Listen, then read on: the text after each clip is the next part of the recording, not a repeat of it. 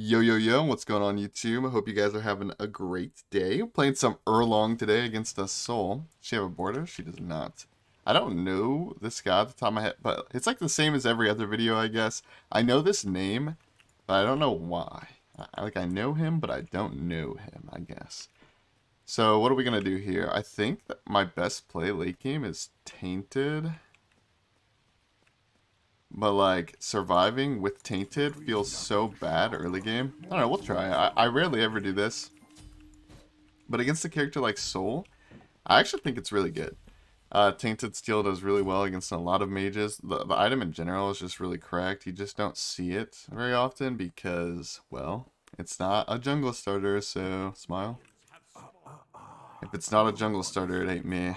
Although, I'm definitely not supposed to have pressure. Like, even if I went, like, mannequins, for example, even if I went mannequins and started the lane and did the whole laning phase thing, you know, all of that, I would not get pressure, most most squirtingly. At least I'm not supposed to. I guess if he misplays or buys the wrong items, I'd do fine. But I'm assuming that he would play, you know, the way every other Sol player does, which is buy mannequins and just kind of hold down their, their button, you know? You buy mannequins and you just hold down your button, dude. Right here, we definitely can't fight her because... I got quiet because I thought I was trying to listen for her to see if she was coming around the corner, but she's going to her blue. We most squirtly cannot fight her right now.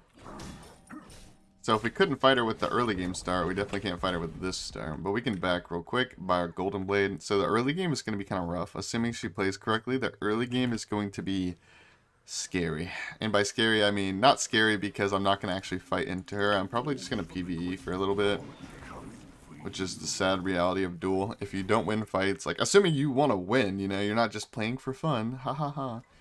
Assuming you want to win, you got to take the fights that are good for you. Mm, yeah, I, I definitely don't kill her there.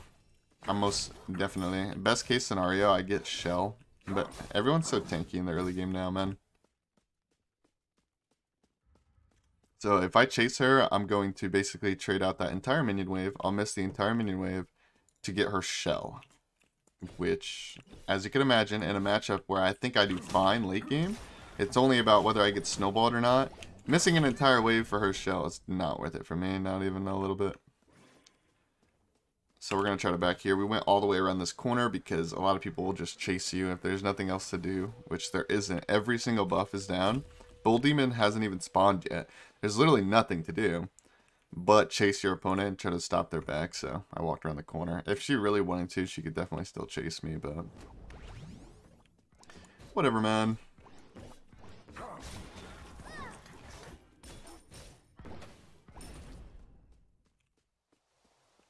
Let's let's let's limit test a little bit. Let's see how much damage we can do. Pop the pop the potions. I'm gonna wait to taunt, because I have shell to mitigate. And I have my shield.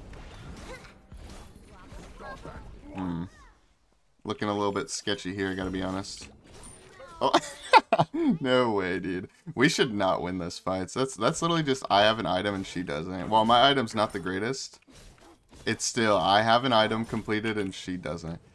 She had to have missed some autos there or something. I don't know. You guys are the ones watching the video. You can roll roll back the footage to see exactly what just went down there. But I'm pretty sure, like, because I should not win those fights. Maybe it's just because she didn't space. She walked towards me the whole time. Usually Sol wins by just kind of doing that ranged auto attack thing where you backpedal. But she didn't have a completed item. She didn't have a completed item. She literally walked into my melee autos the entire time. Like, literally every part of that fight, she was just walking into my autos. Which is not how you play that at all. Especially at the very end. That was really bad.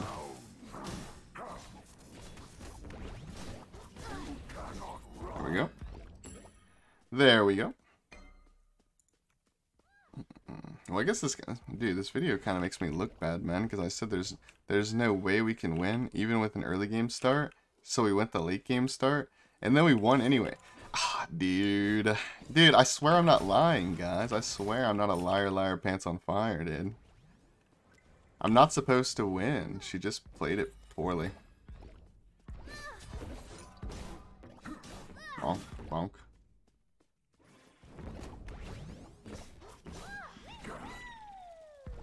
Okay. okay. Also, I guess I should hint on the Golden Blade, by the way. Does does Erlang need Golden Blade to be successful in Duel? No. Uh, does like in general, no. Does he need it to be successful against a high pressure character or what should be a high pressure character like Izanami, AMC, Sol, Olorun with mannequins, all of them? Uh, do you need it in those matchups? I wouldn't say you need it, however, it does benefit him a lot. Because even if you don't need it to clear, like for example, as you can see, my Mink does a, good amount of, good amount of damage here, and it clears give or take. Golden Blade allows you to not clear with the if you want to. You can still clear with the 3 if you want, but it allows you to have multiple options, and having options in Duel is really strong. Uh, and on top of that, even if you're not, even if you don't need it exclusively to clear, it only helps you a little bit to clear because you have another ability like Mink that does fairly well. That doesn't mean it's terrible. Like it has good uh, jungle camp clear after you clear the wave. Dude, we just beat the crap out of her. It has good jungle camp clear. You can mink the wave, beat them up, and like if that red was up, I could go over there and clear it with my autos. So it has good jungle camp, jungle camp clear, and it has 10% movement speed which no other katana, like all, pretty much all the items, I haven't actually looked at all the items, so I don't want to quote it. I don't know. I don't know how much Doom Orb is or whatever. This is a terrible spot for her to be in. Uh, tower's gonna. The tower's gonna smelt me. If I walk up and alter, she'll ult it, which will immune it, and then I'll get knocked up. But um, dude, what was I even saying before? I was saying something. Oh yeah, it, it gives 10%, and if you look at the katana tree, literally all these items, 7%, 7%, 7%. They all give 7, so that 10% is really nice, it really is.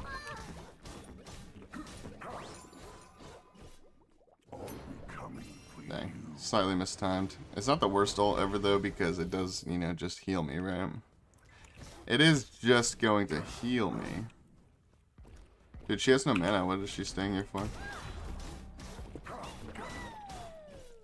Okay, I was trying to kill her with the golden blade there, like by hitting the minion. But she was not in range. Ward his blue so we can see what's happening over there. This guy's building correctly, give or take. I mean, uh, since he lost the first split, I probably would have went defense there, but He's building correctly, give or take. But he's definitely not playing it correctly. Um, I think we go Tox. Actually, let's go crit. Why not? Let's go crit. We love crit, boys. Crit and Thorns, Crit and Thorns. I like going Blink against mages. In fact, that's probably my favorite thing ever to do is uh, if I'm against a mage as a melee character, you better believe I'm going Blink 99% of the time, but in this matchup, I'm just respecting Sol in general. Because Sol has an amazing boxing potential, and but all of a sudden if you buy Thorns, if you're playing a good god, obviously, that can fight her, if but maybe couldn't fight her pre-Thorns, Thorns just basically allows you to one-shot her. If you catch her around a corner, you camp BDK, you camp something, and you catch her around a corner. Like, for example, if she walked right here and I start CCing her, her only option is to run or fight. And in, the, in those kind of situations, a lot of the times you catch them after they start running because you ambushed them and you got them half HP before they even realized. So you're going to catch them. So then there's the other option of fighting. Just stand your ground and box. And Thorns just kind of takes that ability away from her. She literally can't stand her ground and fight. Thorns got nerfed like 5,000 times, but... It's still really good. It is still really good. I think she will contest this is my guess. But I've been wrong about pretty much every single thing she's ever done this whole game, so...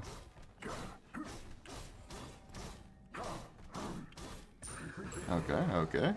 Alright. okay, like, I know it kind of goes without saying, but I'm still going to say it.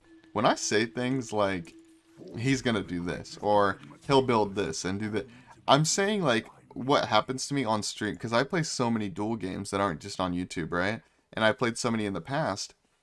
I'm referring to what has happened to me in the past, what happens to me most commonly, and what I do to other people when I play those characters. So I'm telling you guys what you should do, but the, the funny part about Duel is your opponent is not going to do what they should do like 80% of the time. We can taunt off the ult here. Thorns. I think I think she could have gotten away if she just ran in a straight line instead of turning. It would have been close though. Because I can't dive that Phoenix too deep because I'll definitely die to it. I don't I don't have Fizz T, so actually I have a little bit with my tainted, but her turning and burning like that is just simply never going to work. Not not since she's so behind. Basically, she has like two big spikes, assuming she's ahead. Talk more about that in a second. Oh my god, I'm so glad that Phoenix died. I don't even know if I killed it or if uh, an archer killed it. For a moment, it was getting cold. She's chasing me. Wait, she missed her. She missed her too.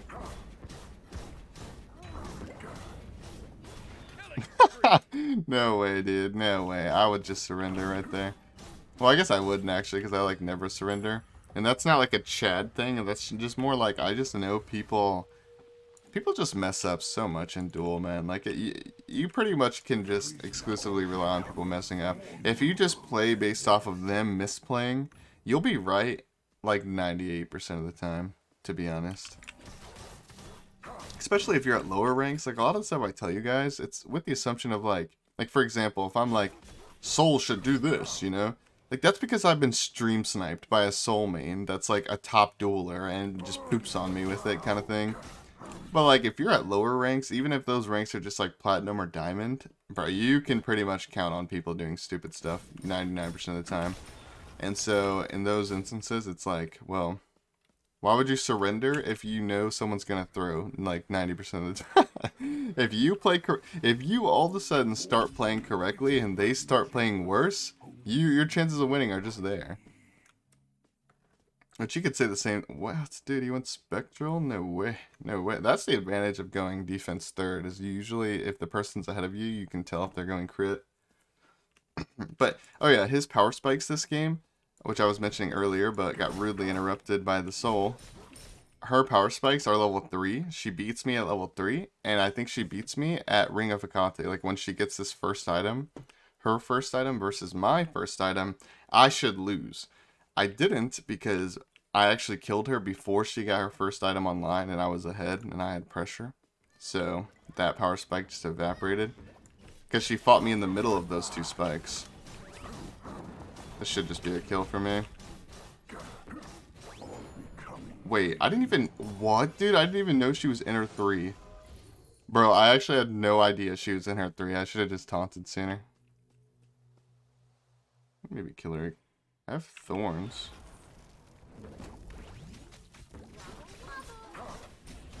We got her with the root.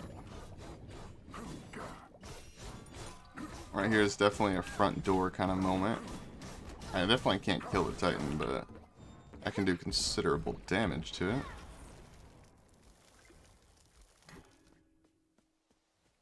I have a lot of attack speed. Silver Branch wouldn't be bad here. The longer she stays here, the higher chances her Phoenix dies, so I'm just gonna try to bait her. Just by standing around like a weirdo. I think she realizes it now, but a little too late, and that's her Phoenix. Yeah, like, stuff like that. I bet you this guy is not even a bad player. Uh, generally speaking, I bet you this guy's not even a bad player. He's just tilted and tunnel visioning. I really need to get this red, so I'm going to make her think that I'm walking towards her, which will make her back up a little bit, and then I run to this. Like, I'm basically just bluffing, dude. Like, oh yeah, we're totally going to fight. You better back up, and then I just immediately run around and get the red. Run!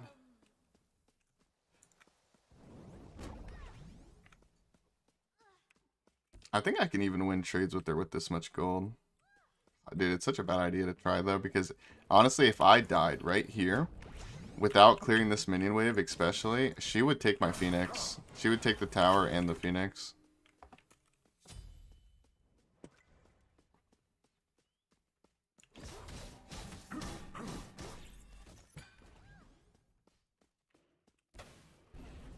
BRB. Mm -mm -mm what do we want here? I think we just go oboe. Yeah, I think this is an oboe moment. Oboe moment! We're gonna have so much attack speed, dude. We're, we're overcapping when, when we have our 3 active like we do right now. Uh, we're not overcapping without our 3, which makes me want to just use my turtle in fights and not the mink. We are going to be super close to cap, though, when we get Wind Demon procs. As you can see, we're at 2.44. I want to show you guys the oboe damage. Dude, maybe that's what this video should be. Maybe I should make a, a mana video of oboe. Here, I'll show you guys, and you gotta keep in mind, this is without Fizzy, without a lot anyways. Actually, maybe, okay, we'll wait until level 20, right here after this wave. We'll buy Tainted. I'm gonna pop all my health chalices. Okay, pop all the health chalices, because it resets in the enemy titan. We're gonna buy Tainted Amulet, get a little bit more Fizz D and a whole lot more magic defense. Pop more health chalices. Because again, it resets in the enemy fountain if you didn't know. So we have a whole bunch of time. And now he wants to fight me, which this is not what I wanted, dude. I wanted to show you guys... I want to show you guys the oboe. Back up, man. Back up, dude. I will kill you.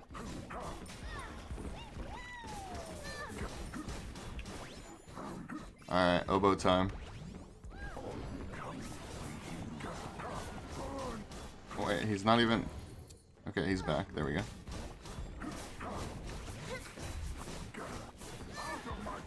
Alright, we're gonna leave. We did 600 to her with Oboe. We did 700 to Titan. And that was like a terrible example too. That's the craziest part. That wasn't even a good situation. That was like turbo scuffed because she poked me out a little bit before. Ooh, she poked me out a little bit before, and also she uh she backed up in the middle of it, so I couldn't just keep hitting with oboe. And also we're we have a crit build. I just noticed that. Like this build is obviously a lot better without crits because it makes your oboe skill better, and you can't crit the titan. So this is like the worst situation ever for oboe, but it's still good. That's the craziest part. it's still good even though this is a bad situation. Because I've seen Oboe do like 2,500 damage. 2,500 damage to the enemy Titan, and I've seen it do 1,200 damage to a god in the same same uh, situation.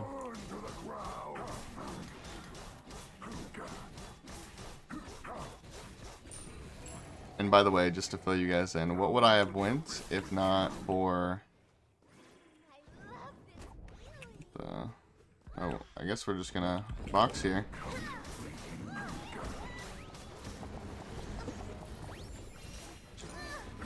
Dude, it's just she just doesn't win. Uh, Tainted Steel, we have double defense. Tainted Steel plus Shadow Steel anti-heal. What is that? That's 70% in total, and Sol kind of relies on her healing. Plus, she also went Thorns instead of Beads, which is really bad. You need Beads versus Erlang. Remember that, boys? You need beads versus Erlang in most matchups, unless you just outright win them in, in the auto trade, which isn't really that frequent. So, takeaways from this game. When you play Sol, make sure you pressure as hard as you can level 3, and then you kind of reset a bit until Hecate. You don't want to fight in between that, because it's not it's not a good spike for her. And also, Golden Blade here you do not need Golden Blade on Erlang. I mainly did this because I didn't want to do a starter, and so what's my best, like, tier 2 item, you know? Like, what's my best, like, start to this game that's not a starter? And Golden Blade just seemed good, so, like, in, in a situation where I'm just going to go mannequins, I probably won't go Golden Blade, uh, because Erlang can clear just fine, typically. Uh, but Golden Blade's never bad, it's just not always needed. It's kind of just a personal preference thing. We went Oboe for the memes, although I will say this item is really good at closing out games. I could have very easily closed out the game the first time I was hitting the Titan if I wasn't trolling and trying to just do a ton of damage by having it bounce back and forth between them and get high numbers to show you guys. So the takeaways from this is just Golden Blade optional. I wouldn't go Oboe in a serious game unless you actually are PvEing the Titan. Tainted Steel is viable as long as you can actually survive the early game.